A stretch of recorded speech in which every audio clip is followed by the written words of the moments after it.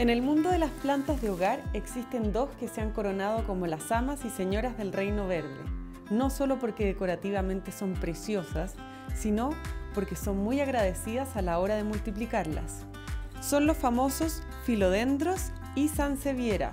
Y hoy voy a conocer todo acerca de su reproducción o como dice mi abuela, las patillitas. Hola Natalie. Hola Javi. Hola Pato. Hola ¿Cómo Javi, están? ¿qué tal? Gracias por recibirnos acá y bueno, ¿qué es Nehuen y cómo nació? ¿Qué es lo que hacen? Nehuen nació de la fuerza que tenemos los dos, Ah, ya. nació del amor a las plantas. Oh. Nehuen es eh, Fuerza fuerza, botánica. fuerza botánica. Claro, y decidimos hacer como este emprendimiento de las plantas que la verdad nos ha llenado completamente, yo creo que a los dos. Sí. Eh, empezamos vendiendo plantas, pero mm, a medida que íbamos avanzando nos dimos cuenta que existían muchas dudas. Dudas de los clientes en el fondo. Exacto. Claro. Por eso empezamos a hacer asesorías, tratamos de, de que la gente entienda que las plantas son vida y mucho más allá que un objeto de decoración. Nosotros tenemos y te vamos a presentar los filodendros y las sansevierias que son muy comunes y muy aperradas, por Ya. decirlo de algún modo. Bacán.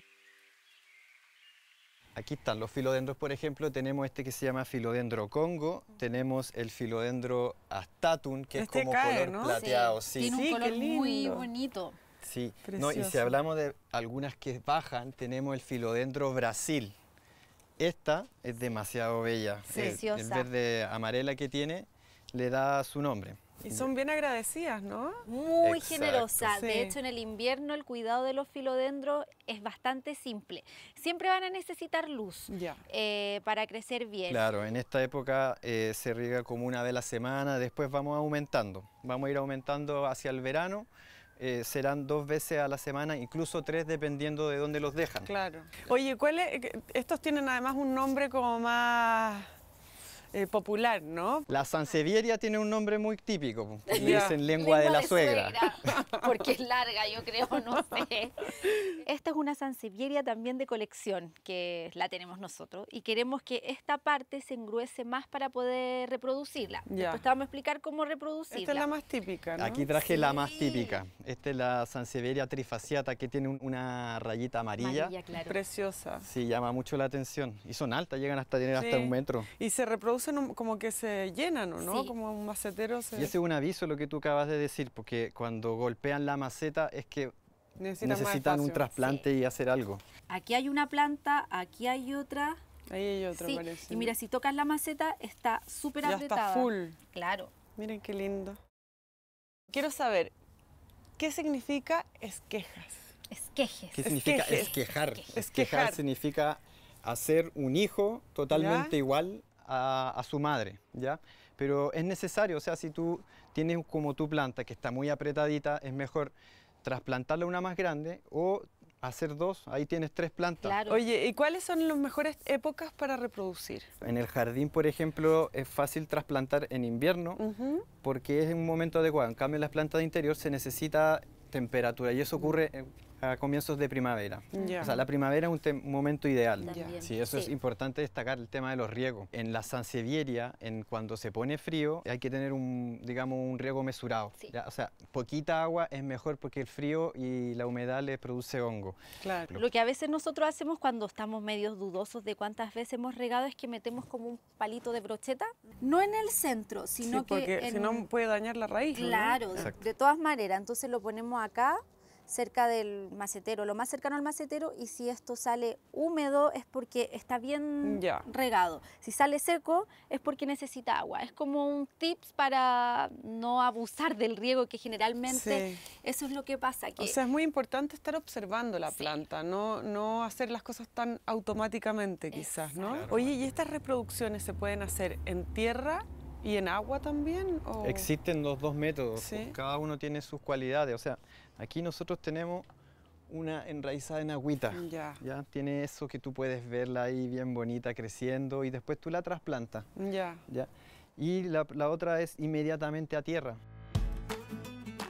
Para la reproducción de esquejes vamos a necesitar tijeras, una esqueje o patilla, tierra o sustrato, maceta, agua. Bueno, ahora lo que vamos a ver para que puedan hacer en sus propias casas un esqueje de una rafidófora de cursiva. Como pueden ver, en la rafidófora, dan unos típicos tronquitos. ¿ya? Estos tronquitos son sus tallos y de aquellos vamos a hacer el esqueje. Entonces, tenemos, aquí yo ya tengo preparados los paso a paso en el sentido de que este es un tallo, ¿ya? Uno tiene que darse cuenta que los nudos son los bordes. Cada rayita es un nudo. Nosotros vamos a dejar aproximadamente cuatro nudos, ¿ya? O 10 centímetros. Y para hacer el corte lo que hacemos nosotros es ocupar alcohol, ¿ya? Entonces es simple, es para que no se infecten las plantas. Y realizamos el corte. Es como que fuera a cortar una zanahoria, ¿ya? Ya, entonces aquí tenemos el corte. Entonces, ¿qué hacemos nosotros? Aquí preparamos una agüita de canela. Y lo que hacemos es aplicarle una rociada. Y luego la mantenemos en un lugar fresco y seco, una semana. Luego lo colocamos en la maceta. Si se fijan, no se planta como uno pensaría, que es directamente así, sino que se planta de lado. Con el sustrato previamente preparado, lo cubrimos con un poquito de tierra, aproximadamente un centímetro. De hecho, debe quedar visible ahí se ve medianamente tapado. Y para finalizar este proceso, lo más importante es hacer un riego profundo, considerando que esto se hace en primavera para evitar pudriciones. Y luego le aplicamos agüita. Está listo el esqueje. Con eso estamos listos para tener nuestras propias plantas de monstera o filodendro. esta sansevieria está muy apretada, entonces lo que vamos a hacer va a ser separarla y reproducirla por hijos. Lo ideal es que al sacar la planta de la maceta salga completa. Por lo tanto, lo que voy a hacer ahora va a ser dividirla. Mirar el macetero que tenga drenaje y echarle sustrato. La ponemos dentro de la maceta no hay que aplastarla, hay que dejarla lo más eh, liviana posible y echamos tierra encima.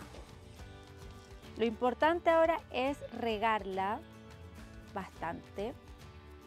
Y así está mi primera sansevieria. Acá tenemos una hoja de la sansevieria. La voy a cortar. De esta hoja podemos sacar muchísimas plantas. Siempre fíjense que la parte que uno corta es la que tiene que ir hacia abajo y finalizamos con esta. Acá también voy a tener mi reproducción de sansevierias. En resumen, podemos hacer diferentes tipos de reproducción. Acá la separación por hijo y aquí reproducción en agua. Espero les haya gustado y les sirva. Aprender a reproducir nuestras propias plantas es traer más vida a nuestros hogares, es llenarlos de amor. Gracias amigos de Newen.